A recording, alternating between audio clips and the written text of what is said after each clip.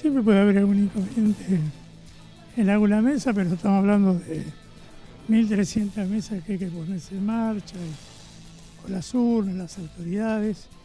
Y la verdad que siempre Chubut dando un ejemplo de, buena organización electoral, así que y la gente de a poquito va llegando.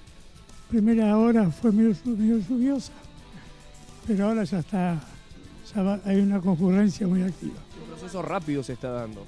Sí, esto es rápido, es una boleta, no hay muy poco para elegir. No digo que muy poca variedad, sino que se elige una boleta y es más rápido. Incluso va a ser más rápido tranquilo, con la familia. Ahora, dentro de rato me, me junto acá en la casa, en mi casa, en, en Posadas. Eh, iré a comprar eh, los ravioles, Una tradición. tradición. Yo los elijo.